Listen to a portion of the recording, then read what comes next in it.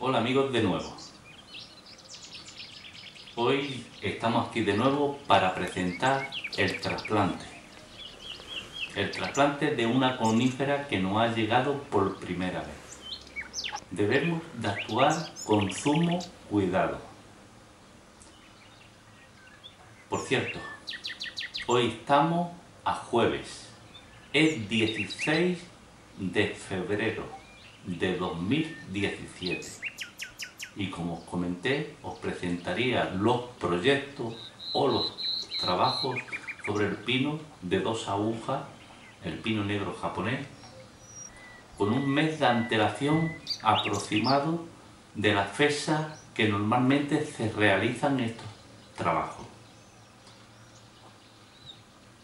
Yo ya he recibido algunos comentarios verdaderamente que me entristecen bastante. Personas que el año pasado realizaron un trasplante sobre el pino tumberli y que ya están, se puede decir, desanimados con esta especie. Cuando este pino y todos en líneas generales son árboles muy fuertes. Lo único que ocurre es que si no aplicamos las técnicas correctas. Por eso digo que este trabajo sobre unos cursos básicos para principiantes, para los pinos de dos agujas, pues nos lleva a que, a, que debemos de realizar todos los trabajos con mucha pausa. Una de las cosas que lo comento en el vídeo que vais a ver a continuación de estas palabras es esta herramienta. Esta es la temida garra de ozo para desenredar raíces. Bueno, pues esta herramienta os lo digo ahora porque luego también, totalmente prohibido para los cepellones que nos vienen por primera vez. La paleta sí, siempre que queramos, esta sí la podemos utilizar, pero la garra no, prohibido. El 30% de la viabilidad del trasplante depende de esta herramienta. Otra cosa que si queréis saber cómo el pino va, si tiene fuerza, si decae su fortaleza, es que las agujas con la palma de la mano ¿eh? os debe de pinchar la mano. Eso es señal de fortaleza. Si tocáis con la mano y no pincha y más o menos las agujas empiezan a decaer hacia, hacia abajo, un poquito o hacia horizontal, es que algo ha, ocurrido mal. Pero en fin, dejamos el tema y comenzamos con las siguientes imágenes sobre el trasplante del pino. Y recordar que es muy importante que el pino nos marca la fecha de cuándo debemos realizar el trasplante. Bien, pero tomad las notas que yo os marco. Velas y raíces son las indicadoras de que podemos realizar el trasplante. Bueno, no me enrollo más y continuamos con el trasplante. Hasta el próximo vídeo, amigos, de esta escuela o talleres de curso básico para principiantes.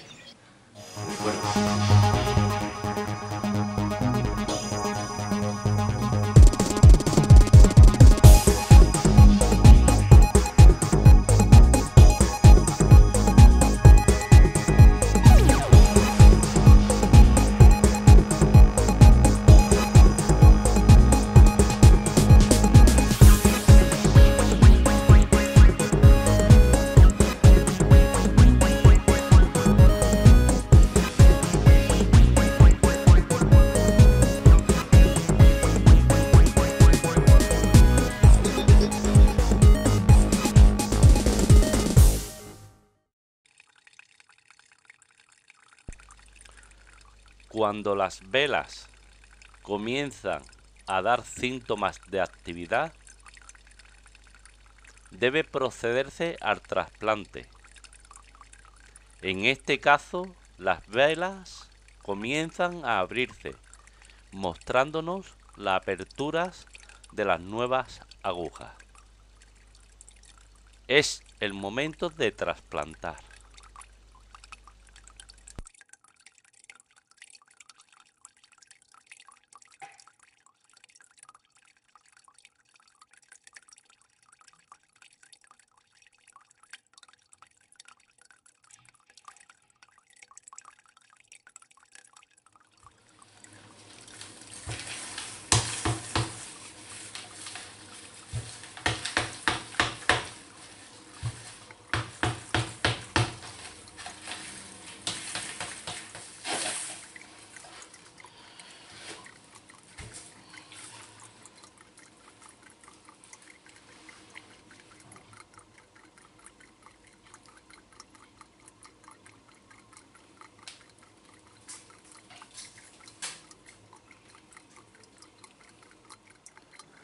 Las puntas de las raíces blancas indican de que el árbol está preparado para el recorte de raíces y, y un trasplante. Debemos de recordar que estos cepellones que vienen de viveros son muy compactos y que tendremos que conservar el máximo de raíces posible.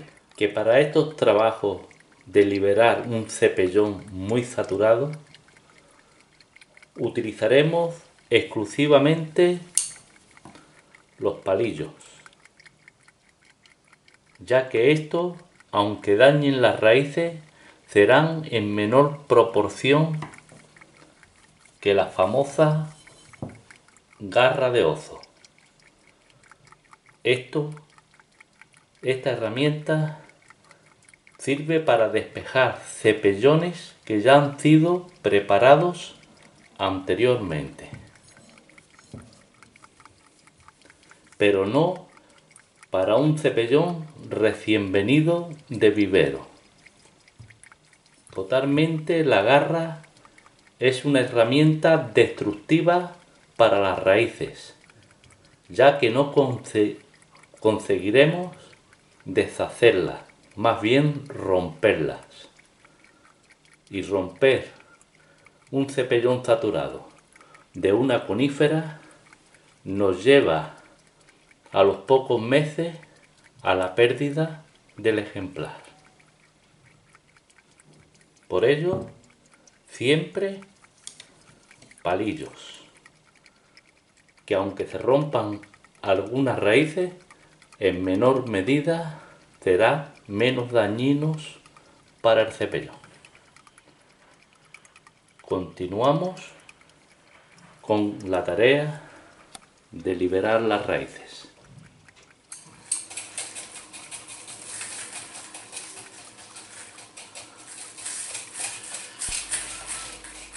Comenzamos el proceso quitando la tierra vieja desprendiéndola con la ayuda de los palillos.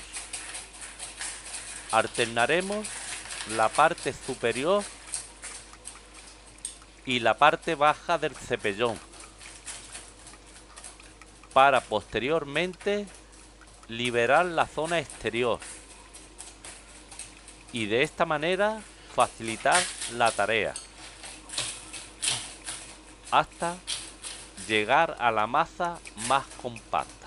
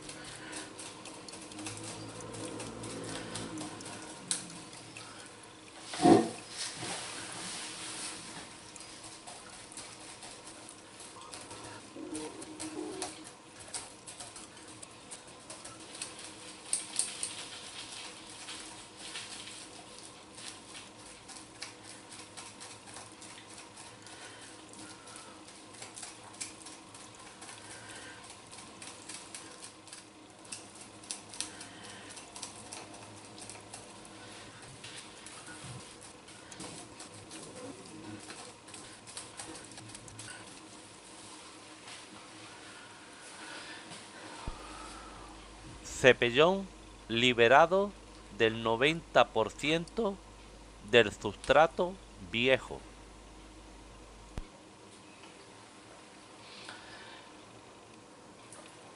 Mientras limpiamos la zona, vamos a colocar el ejemplar con su cepellón aún todavía un poco grueso en un recipiente con agua, aminoácidos y hormonas. El, el agua del recipiente se va a desbordar. Vamos a colocar un plato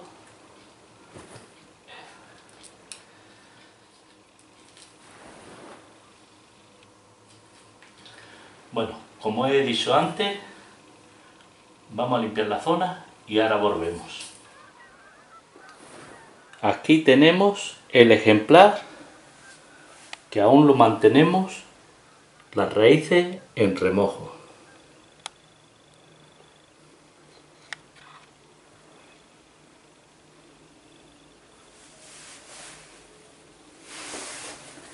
Aquí hemos hecho una mezcla de 6 partes de acadama de grano grueso y 4 de arena de silice.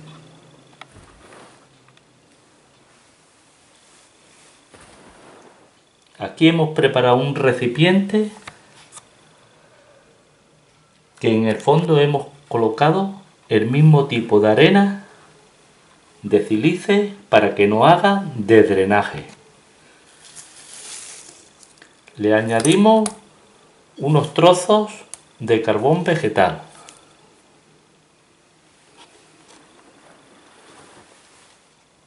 Aquí tenemos estomicorriza de un tipo y, y estomicorriza comercial. Y aparte, hormonas en polvo de enraizamiento. Ahora vamos a la tarea. El cepellón en su totalidad estaba formado exclusivamente por turba.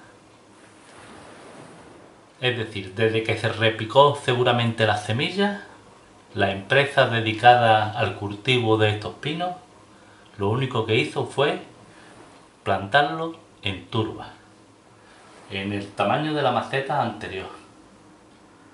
Ello llevó a que el nivel de raíces fuera excesivo.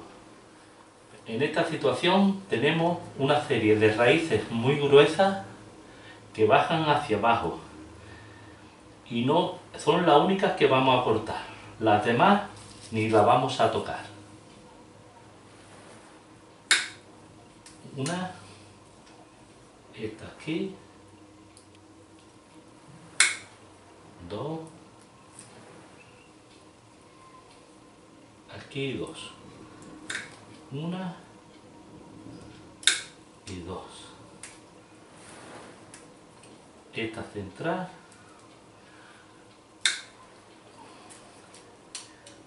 no podemos decir que sean raíces pivotantes, simplemente raíces que han seguido un determinado calibre y tiran siempre hacia abajo, en el centro del cepellón donde mayor humedad puede haber.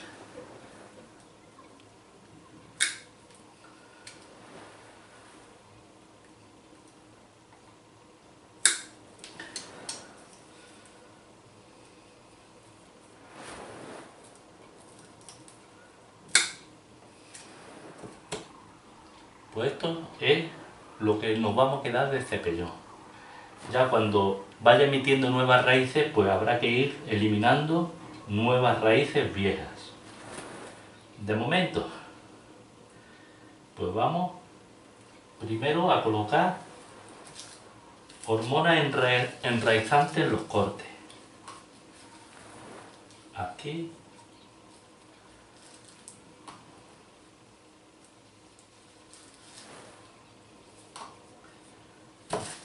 Y hay otra que no la he visto antes.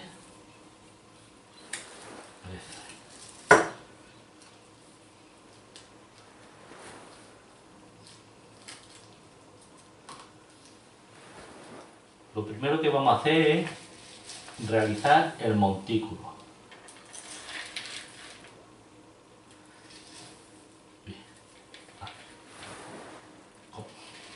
Que como he dicho anteriormente, está compuesto de 6 de acadama y 4 de arena de sílice.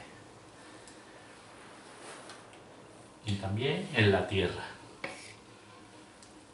Colocamos sobre el cepellón una segunda tanda ya de hormonas, perdón, de micorrizas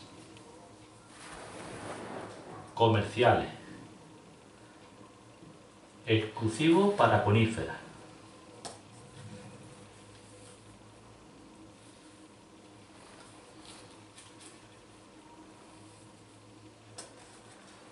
Y añadimos, el sustrato también.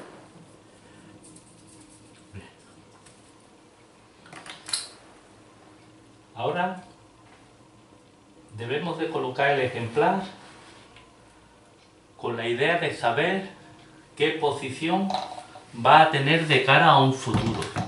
Aunque ahí, ahora, no es viable saber cuál será el frente, pero sí más o menos la inclinación del tronco. Inclinación o línea del tronco.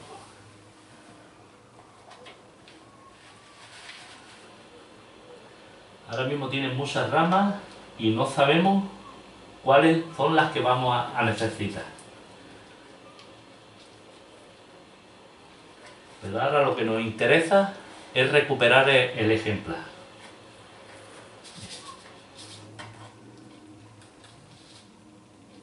Vamos esta con esta.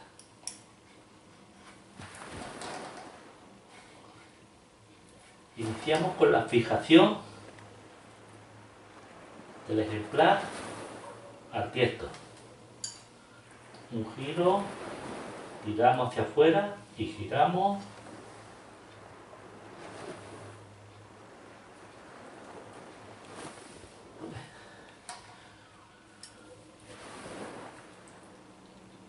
Maceta, una sola unidad.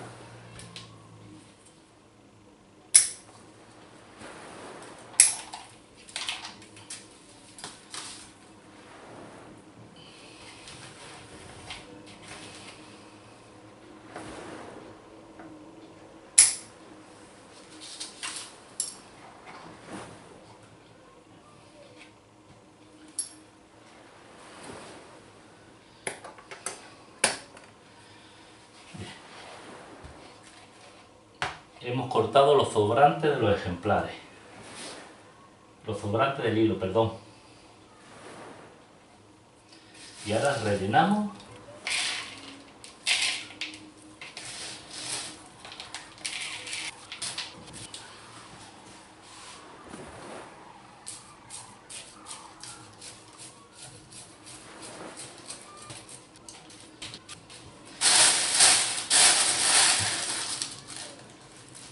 rellenamos solo con acadamas de diferentes grosores.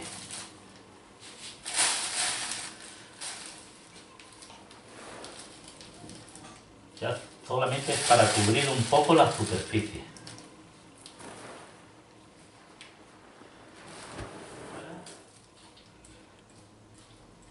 Asentamos el terreno un poco más con una espátula.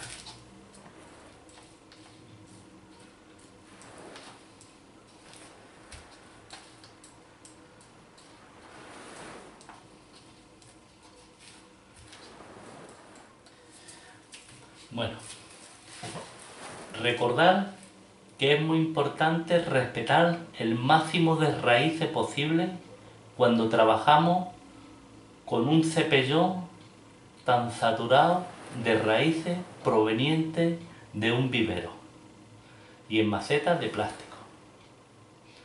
A partir de ahora, todo será más fácil con este ejemplar.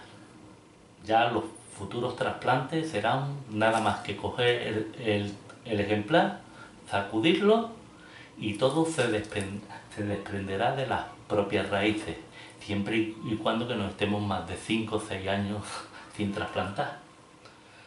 Ahora, este ejemplar lo llevaremos a una zona que le dé la luz, pero que no le dé el sol directo y sobre todo el viento. Y como estamos a final del mes de marzo, porque este tipo de trasplante en la ciudad de Málaga más o menos sobre final del mes de marzo es cuando es el momento más adecuado. En otras latitudes será 15 días después, 21 días después, etc. Es decir, solamente el árbol nos marcará el momento ideal para el trasplante.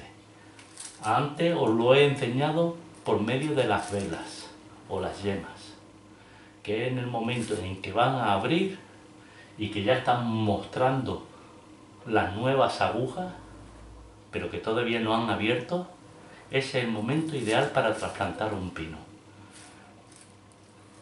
Bien, ya ahora solamente nos queda seguir con el diseño del árbol,